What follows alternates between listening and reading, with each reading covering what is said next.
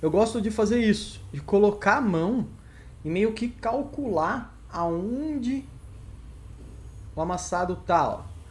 Assim, eu tenho uma boa referência de como a ferramenta vai escorregar. Eu tenho um, um pouco para trás dele, olha agora. Isso quando você está fazendo o orçamento. Um pouquinho para trás e o outro um pouquinho para frente. Cada vez mais que você entende que algo está gravando a possibilidade de remover o amassado, automaticamente o valor dele está subindo. Você, cara, tem um acesso, mas está tá ali no canto, está mais fechado. Subiu mais, sei lá, 150 reais. Tem um outro acesso na parte de baixo, mas também está fechado. Subiu mais 150 reais.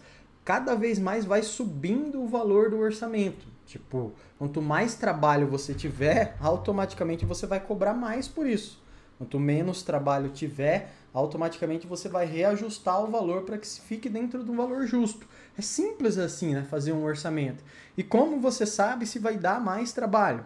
Ué, tô mostrando aqui desde o primeiro minuto de aula. Como você vai sabe que vai dar menos trabalho? Da mesma forma, analisando, olhando.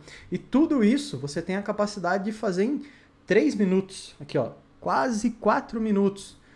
É um tempo bom para se fazer um orçamento, né? Um orçamento não pode ser feito assim, ó. O cara para aí na frente da sua oficina, ou você trabalha num delivery, você olha o amassado, cara, é 400 reais para fazer, beleza? O cara vai ficar te olhando 400 quanto o quê, meu amigo?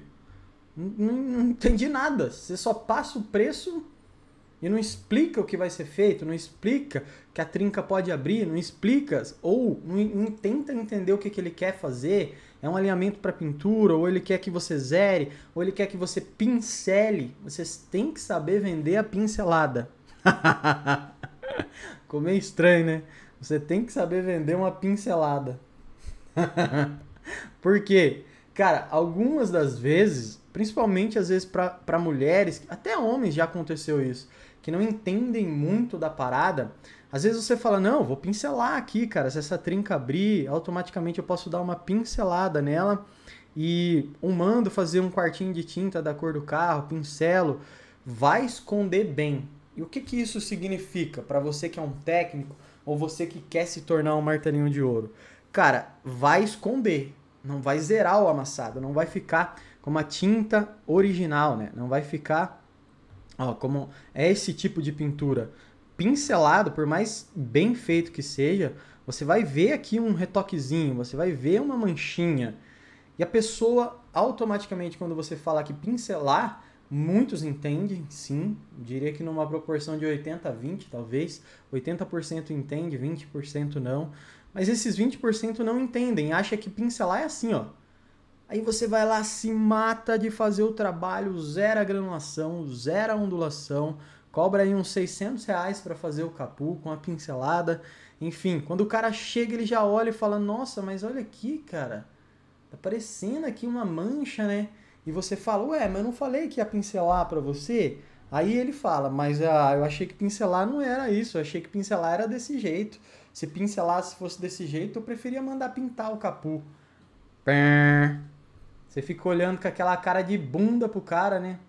Puta, me matei de trabalhar e agora? O que, que eu faço? Não cobro pelo trabalho? Ou, tipo, problema é do cara que não entendeu?